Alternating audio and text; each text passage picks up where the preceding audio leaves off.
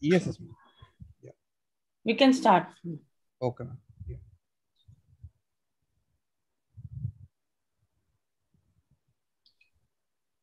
Stop करना है कल Screen से share. नहीं करना है Uh, good evening, doctors. I'm Dr. Someshwar from Shield Healthcare. I welcome you all on behalf of Shield. Thank you very much for joining today's webinar. I kindly request all the participants to post their questions in the comment box so that we'll have expert comments at the end of the session. And uh, uh, let me welcome today's our eminent speaker, Dr. Shweta Agarwal, ma'am. Uh, good evening, ma'am. Uh, thank you for expect, accepting our invitation. And it's an honor to introduce you, ma'am. Actually, madam doesn't need any introduction. Uh, she is known for her humble gesture and uh, kind-heartedness. Uh, Dr. uh, Shweta Agarwal, she done her medicine and M- MS in obstetrics and Gynecology and FMS, FRN, COG from Australia and Masters in Reproductive Endocrinology and Infertility from Australia. And she is a Director of Fertility and Gynecology, Southern Gem Hospitals, Hyderabad. And formerly a Director and Consultant at fertility specialist at PIVET Medical Center, Perth, Australia. And she's a member of IAFS, ISAR, ISHRE, FSA, ASRM. And her contributions to fertility sphere is she is the author in IFS e-bulletins, childhood cancers and fertility preservation, hypogonadotropic hypogonadism, and she is a author in chapters in ISAR, IFS, FOGSI, ACE, consists best practice recommendations for infertility management and best practices and research in clinical ops and gynecology. And she is a course director for IMA uh, AMS Fertility Fellowship Program at Southern Gem Hospital. And she is an invited faculty at numerous national and international fertility conferences. And she's a faculty at hands-on hysteroscopy workshops across various states in India. Uh, thank you, ma'am. Thank you very much for your giving your valuable time. Uh, coming to, it is proven that fact that high quality oocytes results in high quality embryos that are capable of surviving the stages of development to end up as a successful pregnancy. And oocyte quality is the, one of the key factors that determine the success of the IVF cycle. So now, without wasting much time, I turn over the time to Dr. Shweta Agarwal, ma'am, to talk on oocyte quality and its importance. Over to you, ma'am. Thank you. Thank you so much, uh, Someshwar, for your kind words. So, uh, as the topic for today, we'll just talk briefly on uh, oocyte quality and uh, the importance. So, as we know, the oocyte, it's the female gamete or the germ cells, and uh, it is carrying a set of chromosomes, which is contributed from the female. It's, you know, it's got a haploid set of chromosomes. One set of chromosome comes from the male, and uh, another set comes from the female. So it's carried the genetic material, and uh, then it's going to create a right environment to enable the process of fertilization by the sperm. And also the oocyte is going to provide nutrients for the growing embryo until it sinks into the uterus and the implantation happens and the placenta takes over. So oocyte has a lots of role to play. And then so when oocyte has got so many roles to play the quality of the oocyte is very very important so the oocyte quality is defined by the ability of an egg to undergo complete process of meiosis undergo the process of fertilization, produce a healthy embryo, which has a potential to progress to blastocyst either in vivo or in vitro and implant to produce a healthy offspring. So oocyte has got uh, uh, the, the egg which is there. The quality of the egg is very important uh, factor which we always look at whenever we talk about uh, IVF cycles and IVF treatments the egg quality is of prime importance. It's very important to have a good quality egg. So when we talk about oocyte quality, what is the quality? What are we looking at when we talk about the quality? We are looking at the potential of the egg to be fertilized. So whether the egg is being able to be, uh, it's just the fertilization of the egg or making a good quality embryo or to lead to a pregnancy. All of that is rooted back to the oocyte quality. Or is it oocyte quality is just to have a chromosomally normal or a euploid egg uh, to give a euploid embryo or an aneuploid embryo, is it that just the chromosome number which is important, or the oocyte quality uh, is going to impact the early embryonic development, the establishment and maintenance of pregnancy, the fetal development, and even the adult disease. So, what where all the oocyte quality comes into play. So, when we talk about uh, the oocyte quality, it's very important. You know, it goes back to the time from embryogenesis. It goes back to the time of embryogenesis where the oocytes are laid into the ovary. So at birth, the we have a large number of oocytes, but all of these oocytes do not reach to the potential of ovulation. Not all the oocytes which are there reach the potential of ovulation. A number of them undergo a process of atresia during the process of the follicular growth and development.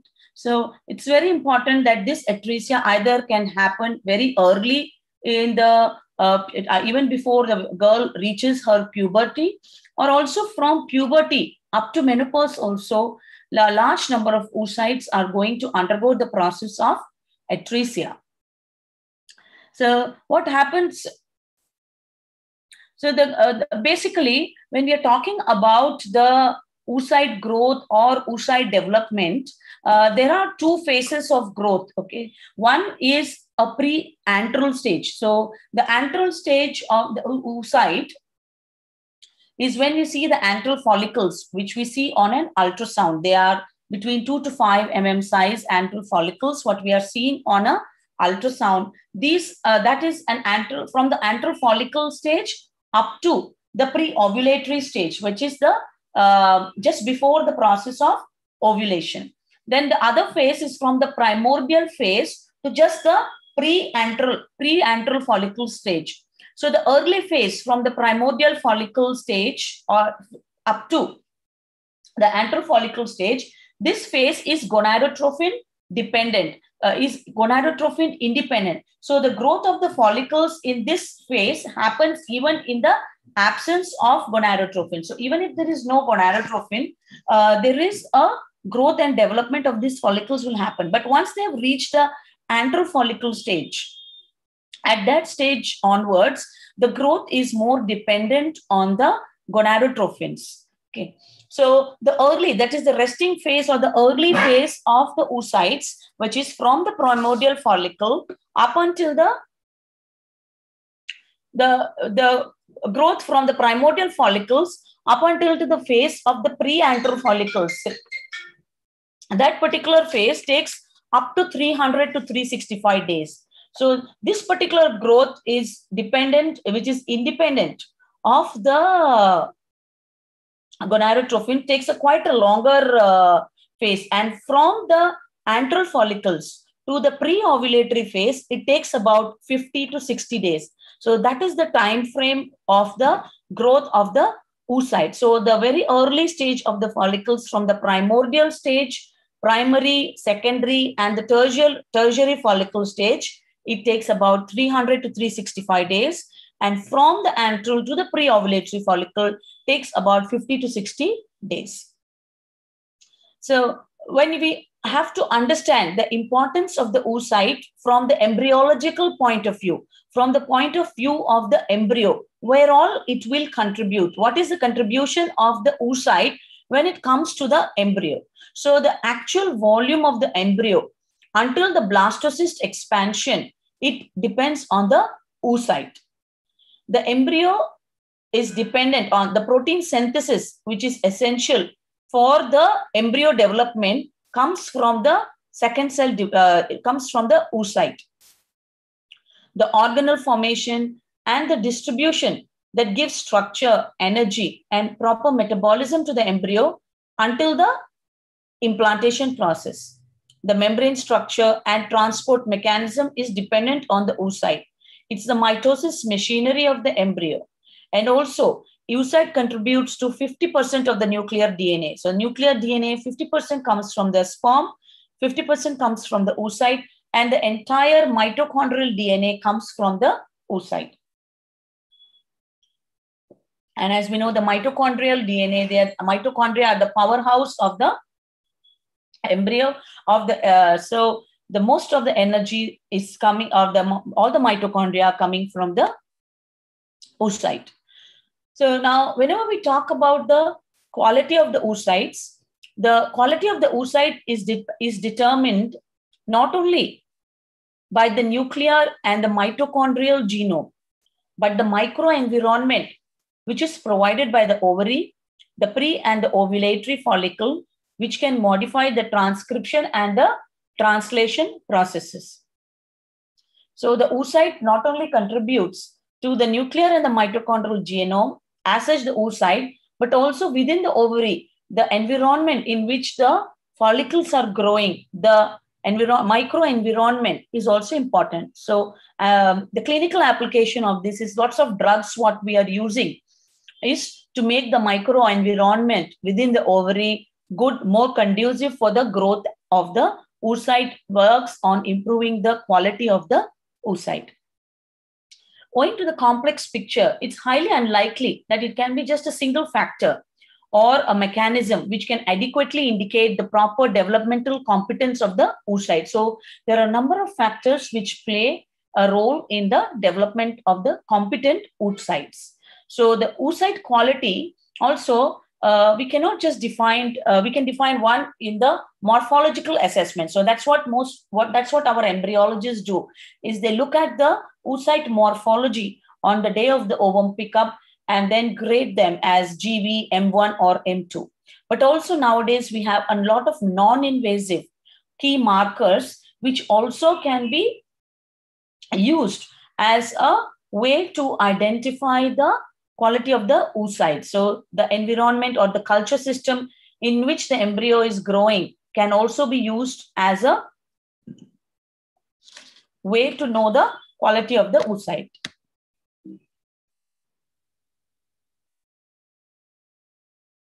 So the oocyte quality assessment is based whenever the embryologists look at the, uh, the oocytes, they look at the cumulus or the corona cells which are present around the oocytes. And once they dedu- uh, denude these cells, they look at, look at the oocyte morphology.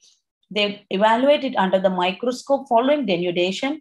They look at the cytoplasm, the perivitelline space, the first polar body, the zona pellucida.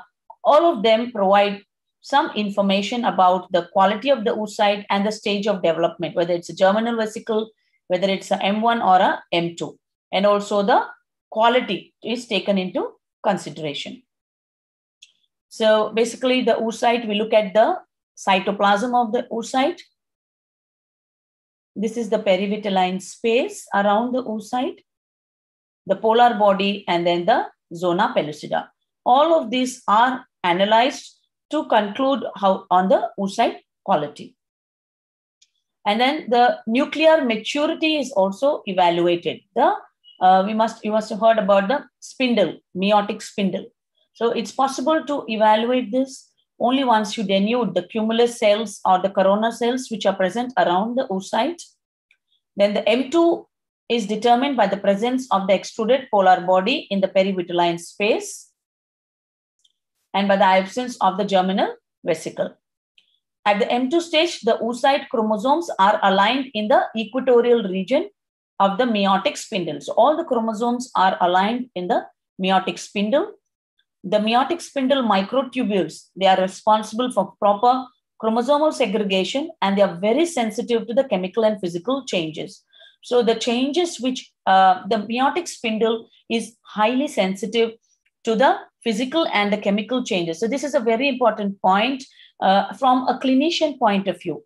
As a clinician, whenever we are doing the ovum pickup and all, so that's why the pressures at which we collect the eggs are important so that we do not damage this spindle, the handling of the oocytes by the embryologist, the changes in the temperature, you know, maintaining the body temp, the temperature of 37 degrees while the collection of the oocyte, while handling the oocytes by the uh, embryologist, all of that, the chemical composition of the culture media, all of these are very important from a clinical point of view because the oocyte is very sensitive and the meiotic spindle, the spindle which is there is very sensitive to any physical changes, any changes in temperature, any changes in the oxygen levels and the chemical changes. So this is very important and meiotic spindle is a key organelle which is they need we need to look at. So coming to the normal oocyte, a normal human M2, it is a it's a round cell, and uh, that's the shape. It's got a very clear zona pellucida. It's got a small perivitelline space, which contains just a single non-fragmented polar body. And it's got a pale, moderately granular cytoplasm with no inclusions. This is considered as a normal M2 and a good quality M2. However, majority of the oocytes may have one or more morphological variations. So the critical size of the oocyte is necessary for resumption of the process of meiosis and it's 100 to 120 is the size which is substantial. If the size of the oocytes is too big, if it's a very large oocytes, again, it's a abnormal one. We look at in the cytoplasm for any vacuoles or cytoplasmic inclusions, which are not good. So vacuoles can be in the form of saccules or smooth endoplasmic reticulum clusters. Present of this is not a good thing. And some inclusions like refractile bodies, dark incorporations, fragments or spots, or dense granules or lipid droplets, all of these are also not a good idea. So the presence of vacuoles was negatively correlated with cryosurvival and also for the developmental competence of the embryos after fertilization. So the embryo, the fertilization rates are poor when you see lots of vacuoles or cytoplasmic inclusions in the oocytes. They are going to have developmental competence is affected. They are poor fertilization rate, poor quality embryos. So there is more incidence of biochemical pregnancy, lowered clinical pregnancy rate whenever we transfer the embryos derived from oocytes with vacuoles. So whenever there are oocytes with these vacuoles, it's not going to give you a good quality embryo and a good pregnancy. And another paper which said the presence of both vacuoles and inclusions was related to compromised clinical pregnancy rate. And these oocytes have lower fertilization the embryo development is poor, there is higher aneuploidy rates of this embryo. So a good oocyte, a good oocyte is, you know, it's round in shape. It's got a clear cytoplasm. There are no vacuoles, no inclusions, a reasonably sized perivitelline space with a small intact polar body, which is just single and not fragmented. And then this is the zona pellucida. So this is a good oocyte. And then when we see sometimes abnormal oocyte is when we have enlarged perivitelline space.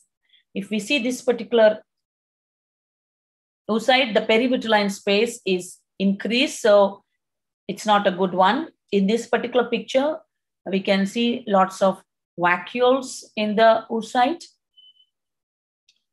In this picture, there is a dark cytoplasm.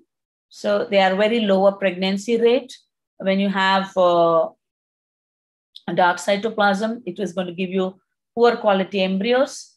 This is double zona, hairy zona. If you see, it's a hairy zona.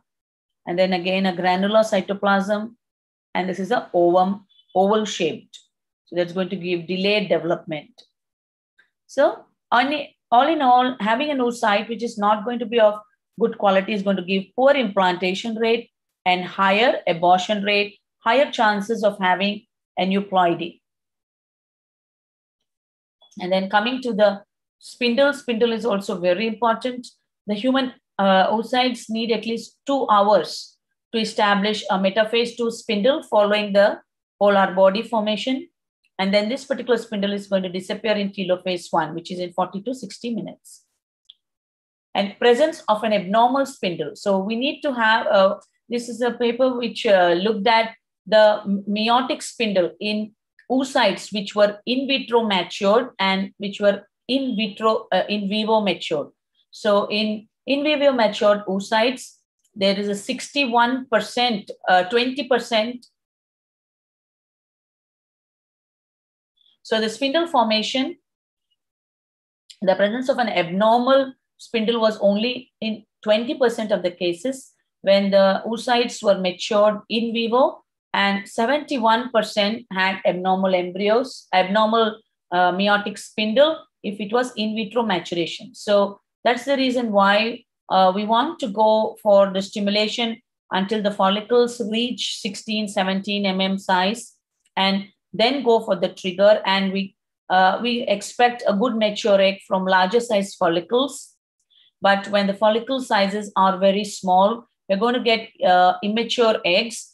And uh, when we try to do in vitro maturation of these eggs, there are more spindle abnormalities compared to the eggs which were already mature when they were collected. So the in vitro maturation eggs we are going to be having more spindle abnormalities, and that's how it's going to result in poor fertilization and poor embryo development. So that's why we want an embryos which are eggs which are mature at the time of collection and in vitro maturation. How much ever good techniques we have, they're not going to give us good quality embryos. So in vitro maturation often produce poor quality oocytes in contrast to in vivo maturate, matured oocyte.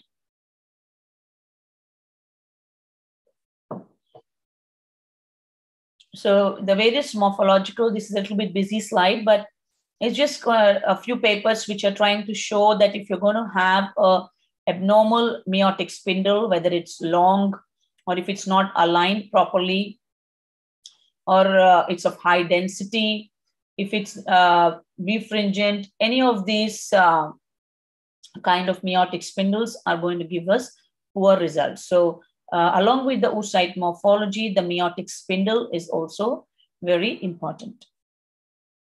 So oocyte, the zona pellucida, uh, it's formed by the oocyte during the follicular growth and it's well ordered and structured zona reflects an oocyte which is going to have a good follicular uh, development. So this is uneven birefringence. If you see, it's not, uh, it's an uneven even zona. is going to have poor implantation potential. And you've got a good, nice, clear zona is going to have a better implantation potential. So uh, then this was another paper where they looked at some, from human reproduction 2020 2010, uh, where 706 cycles and they had biopsied about 4,000 oocytes.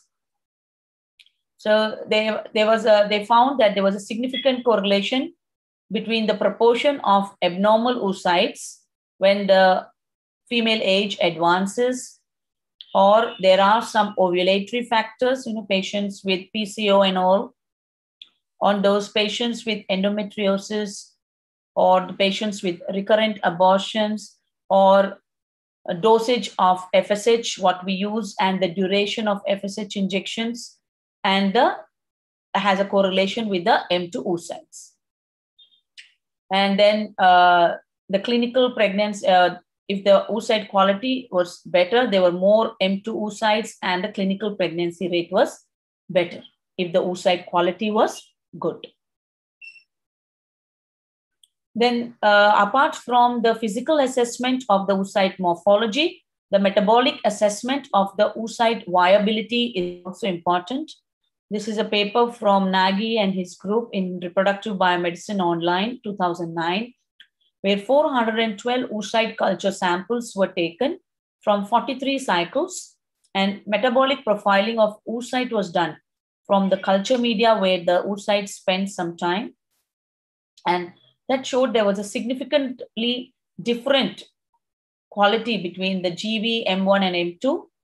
They were able to predict the embryo development to day three and day five, and this was also related to embryo viability. So the time spent of the oocyte uh, within the culture media and the analysis of that can sometimes be helpful.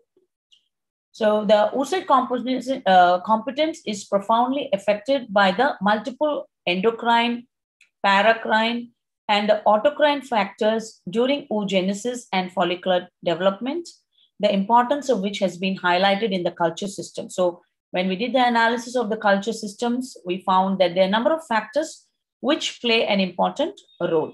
So herein we focus on the perspective of oocyte secreted factors because of their unique role in coordinating the process of folliculogenesis. So in vitro maturation, timing of progression to meiosis 2 is dependent on the milieu of the culture media and the culture conditions. So in vivo, you're going to have a constant body temperature. It's going to be a dark environment. It's a controlled oxygen, O2 and CO2 levels, the volume of fluid, the dynamic changes in their secretion, and free radical scavengers. So they're going to be normal acquisition of methylation markers in the in vivo oocyte. And the main problems what we face in in vitro conditions is the thermal shocks, which the oocyte gets. There is variability of the light, variation in O2 and CO2 levels, volume of the media, and then the cumulus oocyte complex. There's no cumulus oocyte complex connections, vulnerability to the reactive oxygen species and DNA fragmentation. This all leads to the abnormal DNA methylation. So these are the most common reasons why we are not able to get that good quality oocytes in in vitro conditions compared to in the in vivo conditions. These are another few pictures uh, which are showing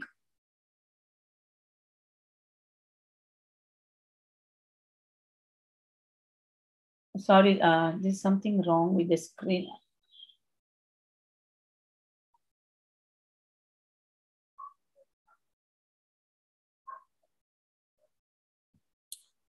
Is this some, uh, are you able to see the screen, Someshwar? Oh, ma'am, we can see the screen, uh, but we can't see the slides. Uh, okay, yeah. yeah. So uh, they can be, uh, as a few other pictures, you know, indicating the oocyte abnormalities. Uh, this, as we said, you know, it's such, it's a normal uh, oocyte with a clear cytoplasm with a single uh, polar body and a reasonable size perivitrilline space and the zona. This is more of a granular uh, cytoplasm. And sometimes we hear our embryologists telling that it's a granular cytoplasm. It's not that good quality oocyte. And then there's the presence of a refractile body and it's an abnormal shape oocyte. Here the perivitrilline space is fragmented. The zona is quite thick in this picture. Number of vacuolations are there. It's going to give us poor quality embryo, poor fertilization. There are inclusions like smooth endoplasmic reticulum, irregular zona. There's a larger perivitrilline space. Polar body here is fragmented and the polar body in this picture is large. So all of these are going to give us abnormal oocyte. So multiple morphological, structural, and metabolic parameters taken into consideration whenever we talk about the oocyte. So again, these are multiple abnormal, multiple morphologies, and uh, whenever all of these abnormal morphologies are there, you're going to get poor fertilization and poor embryo development. So after talking about the oocyte morphology, you know, the uh, which is one of the major determinant factor of the oocyte quality, where we rely on the morphological assessment of the oocyte at the time of uh, ovum pickup by our embryologist. So that's the major determinant factor of the selection of the oocytes for doing the process of IVF or uh, ICSI.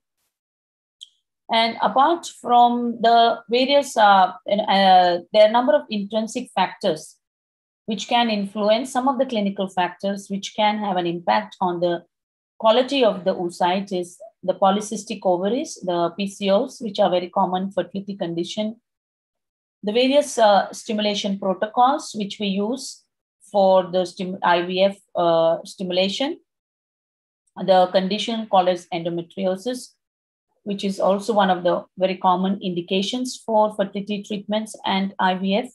And one of the biggest factor is the met- advanced maternal age. So we come across lots of patients with poor quality in eggs and embryos with advancing age.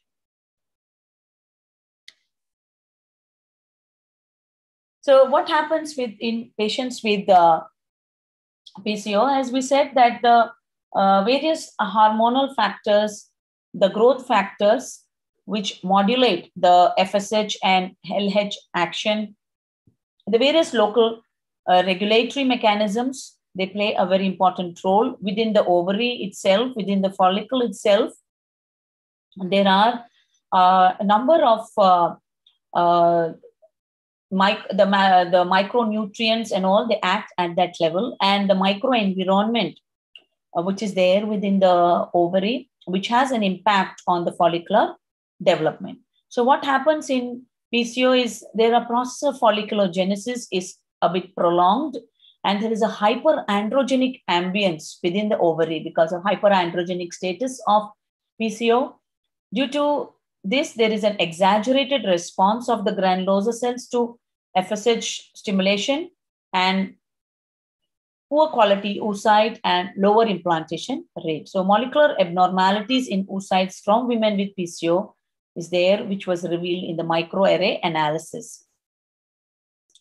So in this particular study, they saw there was differential expression of genes related to the meiotic mitotic cell cycle suggests that the defects in the meiosis and early embryo development could lead to poor embryo development in PCO cases. So although in the PCO patients, you know, in our clinical experience also, we see quite a time that large number of follicles are, uh, they take off, they start growing and uh, not uh, and there uh, not all of the follicles are going to give us a good quality. Oocyte quite often we may end up collecting 20 25 eggs but we may end up with only 8 or 9 m2s you know less than more than 50% can be abnormal. And in a normal patient even if we collect 10 to 12 eggs we may have a reasonably good number of uh, m2 oocyte so the microenvironment within the ovary in patients with pco has got a big role to play in affecting the oocyte quality. Then uh, uh, uh, conditions like endometriosis, we know uh, endometriosis, and particularly when we see stage three or three, four endometriosis, where there is a endometrioma within the ovary. So the follicular environment can affect the oocyte quality and the embryo development. So the and even in mild to moderate uh, cases of endometriosis. Also, the oocyte quality can be affected because of impaired mitochondrial structure and function. So, endometriosis seems to affect the oocyte number and quality more than it affects the endometrial receptivity. As we know, endometriosis has an impact at all the levels, at the level of the oocyte, and also even at the level of endometrium as well. It's going to patients with endometriosis has lower endometrial receptivity compared to other cases of infertility. So, but the impact is definitely there even on the oocyte quality in patients with endometriosis. And then other intrinsic factors is the age, uh, the advanced maternal age uh, is going to influence the oocyte uh, quality to a significant uh, extent. As you know, the oocyte is arrested in the prophase one. Uh, so as the age advances, from the process of prophase 1 oocyte to the process of ovulation where you have the metaphase 2, the egg, the percentage of the normal meiotic spindle is high in younger women. So they're formed after there's a uh, there are more number of normal meiotic spindle in this group, and this is all related to more to the mitochondria. So it, it's an ATP driven process, and you need a lot of energy and mitochondria. And as the age advances, the mitochondria in the eggs is going to go down and it's going to have disruption of the meiotic spindles. So reduced mitochondrial numbers and activity in the oocyte with the advancing age, you're going to have disrupted meiotic spindle. So insufficient energy is available to form or maintain this meiotic spindle. The chromosomal alignment is affected. This leads to aneuploidy and poor embryonic development more implantation failures, recurrent miscarriages, and birth defects. So this is one of the major factors within uh, women with advanced age is the lower mitochondria, which is there. And mitochondria is the driving force or the energy force uh, for the final maturation process of the oocyte and also even in the embryo. The embryo is totally dependent on the egg for the mitochondria. So if the egg is going to have lesser mitochondria with the advancing female age, the embryo is going to have lesser mitochondria and it's going to be a poor quality embryo. And uh, there are a number of uh, drugs, you know, we can uh, discuss, which are like coenzyme Q, uh, which we are giving to uh, uh, to provide the energy for this aged oocytes. So again, as the age advances, the abnormal embryos are going to be more with advancing age, and that's more to do with the mitochondria. And another paper again reflecting that the live birth rate per embryo transfer is going to reduce with the advancing age, particularly in their late 30s. The problem is more evident. So in women less than 35, about 60% of embryos are euploid.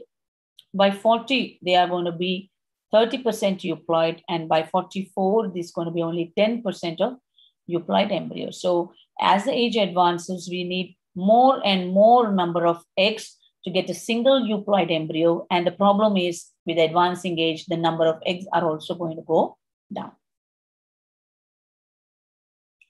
And uh, the oxidative stress and the oocyte quality, we always keep hearing uh, this. And the possible etiologic, etiologic mechanism in mild to moderate endominimal endometriosis is the increased reactive oxygen species in the peritoneal fluid, in the follicular fluid. So there is increasing oxidative stress because of the inflammatory reactions, increased ROS, and then giving antioxidants is going to be useful. So the oocyte quality as it is affected because of the peritoneal, systemic, and follicular fluid, increased ROS. And again, oxidative stress is there in advanced age as well.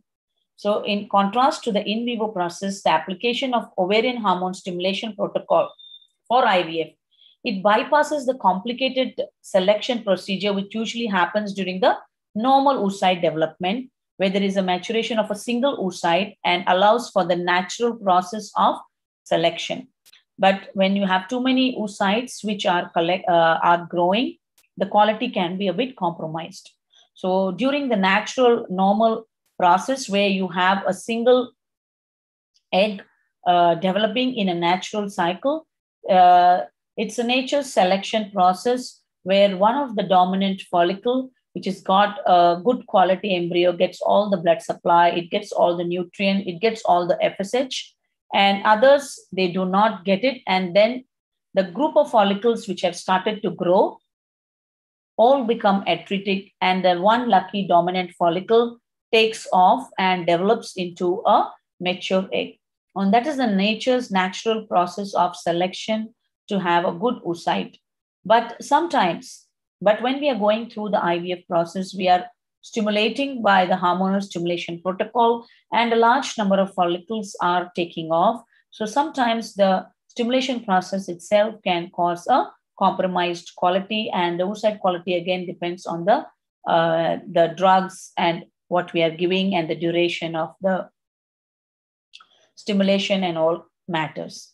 So the timing of the follicle development, the standard rate for follicular development is about 1.7 mm per day, and it takes about 10 to 12 days of stimulation, which is ideal. So oocytes from follicles grown at this rate are better quality with better fertilization and better blastocysts. So it's very important to have a growth group of follicles which are synchronized so that when we trigger, most of them are of good size. Otherwise, we have two different groups of follicles. Uh, one of them will have low, smaller size follicles where you will end up with immature oocytes with the lower fertilization, and another group will be of larger size. So we'll end up getting a reasonably uh, a less number of uh, mature oocyte despite our stimulation. So the, the protocol and everything, what we give uh, does matter. And then the lifestyle factors. So we cannot, uh, the stress hormone reduces the E2, E2 levels, which is also involved in the maturation process of the oocytes. The weight, we always stress on the weight loss. So more body weight is going to affect the hormonal levels and the insulin resistance. As well as there's going to be oxidative stress. So in 2005, Lintsen had done a large study with more than 8,000 women, and he found that women who had higher BMI were 33% less likely to have a live birth compared to women with normal BMI. We cannot stress more about smoking. We all know odds of pregnancy are lower by 50% with smoking, and that reduces the miscarriage and fertilization rate. The smoking is going to affect the follicular environment, the microenvironment within the ovary is going to be affected, and that's going to affect the follicular growth and development. Alcohol, more than four drinks a week, had a 16% lower chance of live birth and a 48% reduction in the fertilization rate. Coming to the diet, the Mediterranean diet is rich in fruits, vegetables, whole grain, nuts, olive oil, and low in red meat, and this is going to be a positive impact on pregnancy. So now having discussed about uh, in the various intrinsic factors compared to the disease, the lifestyle factors, so modification of the various lifestyle factors is very important, stopping smoking, getting the right weight. And as we say in PCO, even a 10% reduction in the body weight is going to get the hormonal balance good and uh, make the chances of pregnancy better, uh, cut down on the alcohol and smoking, all of this is going to improve the taking the right uh, diet. All of this will help in improving the quality of the oocyte and we need to uh, work on is the target window. For this uh, improvement is we need to act from the primary follicle uh, stage up to the antral follicle stage. Okay antral follicles are the ones which are going to develop into the pre-ovulatory follicles and eventually ovulation. So we, this is the window where we need to act. So if you're going to give any medication during this particular cycle, this is going to impact on the oocyte quality in the next two, three months. So trying to improve egg quality at the end of months long process of egg maturation is not as effective. So we need to act on this much earlier. So we see this is a pool of the primordial follicles in the beginning. And then you, if you see how so many of the follicles which have started to grow, they become atretic and eventually only a single follicle takes off in a natural cycle. And there's an interplay of various local factors, the gonadotrophins and everything, which is going to act at the molecular level. Uh, in the recent Cochrane review in 2017 summarized a large number of supplements to improve the quality and give better results. And all of them have some role to play. You know, they are all micronutrients, N-acetylcysteine, melatonin. Vitamin E is a very good antioxidant. Vitamin C, L-arginine, vitamin D, vitamin B, myoinositol, folic acid, Q10, coenzyme Q10, L-carnitine, pentoxifylline. So all of them are good. Uh, most of them, you know, they are more acting in reducing the reactive oxygen species, improving the oocyte quality at the molecular level. Apart from this, now we talk, we can talk about drugs such as uh, uh, DHEA, growth hormone. Uh, they are all very uh, lots of drugs which are there. So apart from these drugs, what can be done to improve the IVF outcome is having better stimulation protocols. If we want in advanced age group women, we need to do the pre-implantation genetic testing, the PGTA or PGD can be done. And uh, we have to have good practice in the IVF labs, maintaining the good culture environment, made, uh, being sensitive and understand the egg collection process and then the environment in which the egg is collected, the importance of temperature maintenance in the lab, the CO2 and oxygen levels, the, the incubators, everything is going to be very important. So we cannot change much the intrinsic quality of the oocyte, but of course the environment in which we are collecting our eggs and the environment in which we are culturing of our embryos are in our hands. So if we have good practice in the IVF lab, whatever the quality of the eggs we have, we can try to give the best possible outcome in that quality. And then DHEA is a very much talked about drug. Uh, it's going to uh, cause slightly elevated androgen levels within the ovary and give us uh, probably give a better quality embryos and better pregnancy rate and lower miscarriage rate. Uh, they're also talking about using 1% testosterone gel. So the there are mixed studies about DHEA. And then there is some growth hormone is also something which uh, is also becoming quite uh, popular, uh, quite uh, you know popularly used. DHEA and growth hormone, all of them is going to act at the molecular level, improving the micro environment within the ovary. Coenzyme uh, Q10 is also uh, very useful in post-ovulatory aging, uh, improves the maturation process, competence of the oocytes, helps in better fertilizing capacity, and then the it's particularly acting at the level of the mitochondria.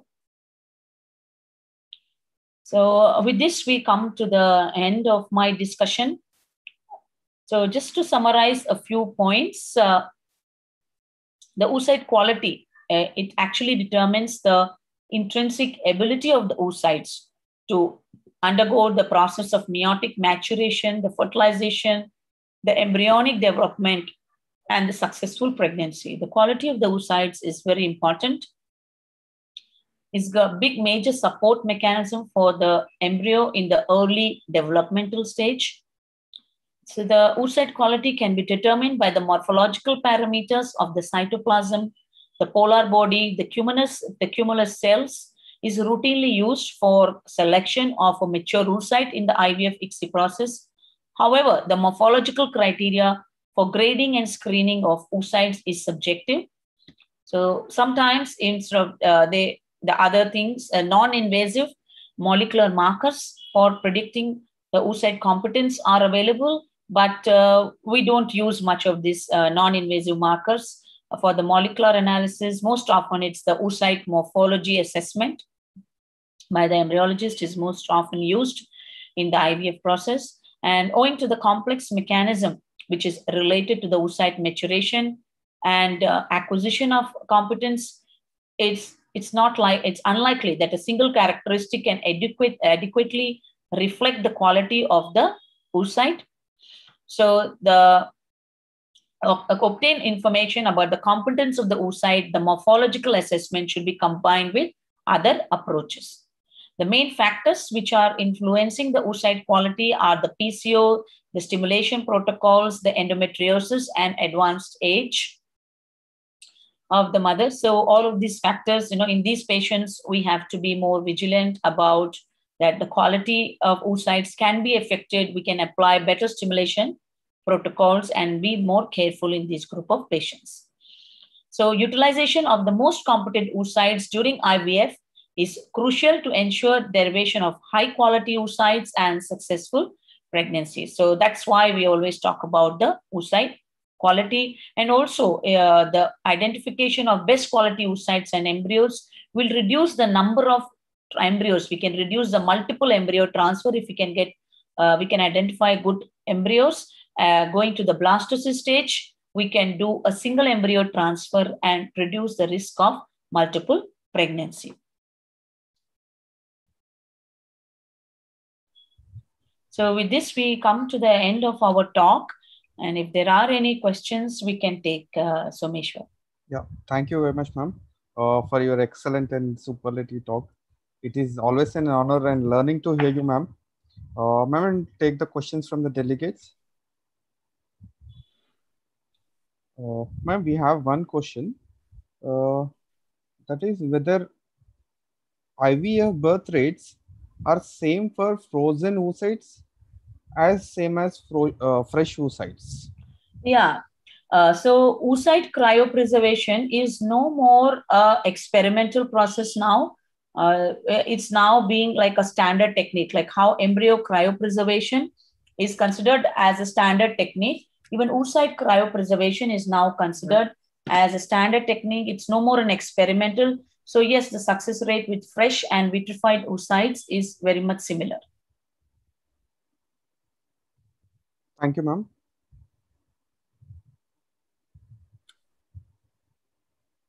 Uh, ma'am, we have one more question. Uh, ma'am, could you explain how to get a, a competent oocyte uh, with uh, supplements? See, with supplements, uh, uh, most often supplements is what we tend to use as clinicians. Most of us is antioxidants like coenzyme Q and all this combination what uh, is available. And uh, then in patients with advanced stage, we can use uh, either testosterone gel or DHEA.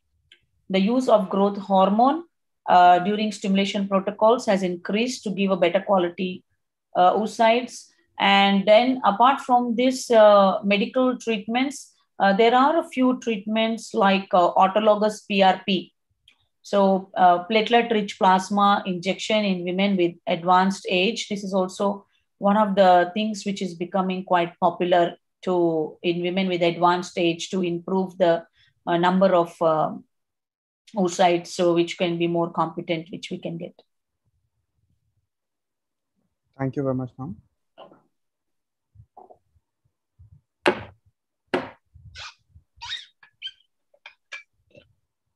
we have uh, one more question ma'am yeah uh, that is is coenzyme q10 for all and when to start?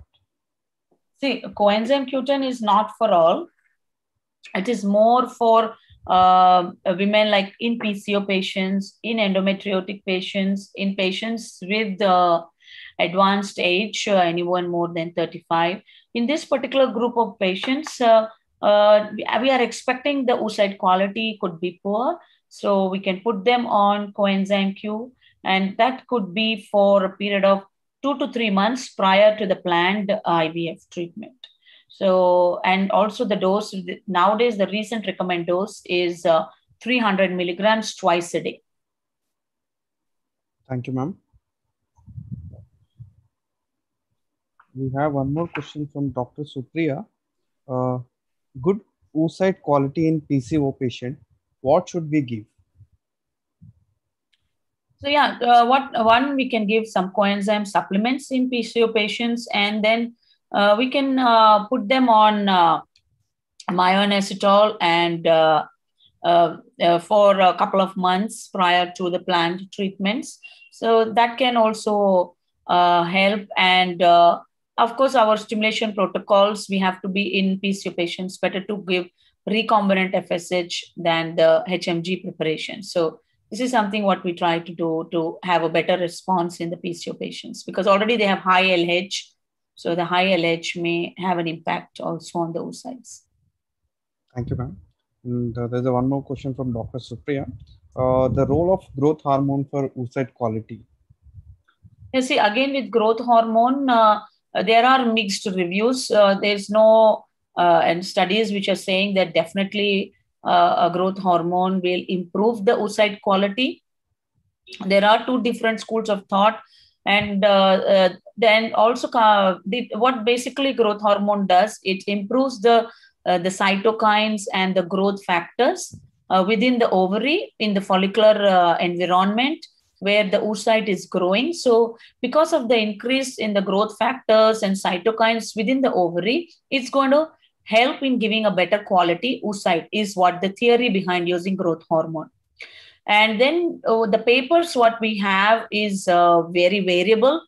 The dosage is of uh, growth hormone used in different studies was different the protocols which was used was very different and then we have and the numbers of patients in these studies were variable so we don't have good concrete uh, studies for growth hormone but whatever experience, little experience, what I have with growth hormone, it's been reasonably good. Thank you, ma'am. Uh, we have one more question that is uh, vitamin D3 role in oocyte quality. Yes, you're talking a lot about vitamin D uh, deficiency is going to affect oocyte quality, you know. So definitely, uh, uh, and most of us uh, as Indians, we are deficient in vitamin D. So it's always a good idea to put the patients. Uh, we are relating PCO also with vitamin D. So of course, supplementing with vitamin D is a very good idea, you know, for all our patients. Thank you very much, ma'am.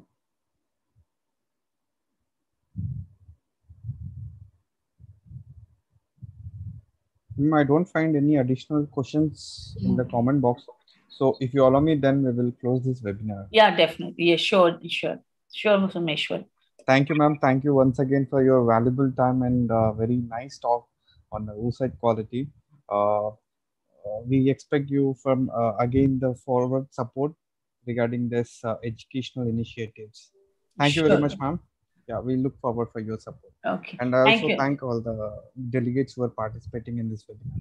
Thank you, Someshwar, and your entire team and the Shield Healthcare to give me an opportunity to connect with so many doctors uh, for giving me an opportunity to talk here today. And I really enjoyed this session. Thank you so much. Thank you all. Thank you, ma'am. And many thanks from the sheet.